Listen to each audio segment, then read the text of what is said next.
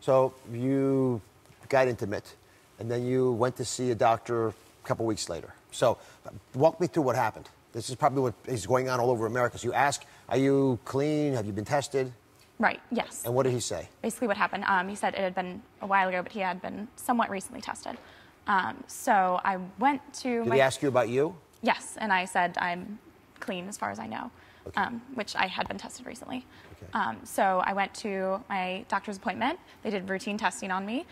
I didn't have any symptoms. Um, I got a call back about a few days later, and I've been diagnosed with chlamydia. That was luckily very easily treatable, but it's so heavily stigmatized that it was really embarrassing for me to have to go through.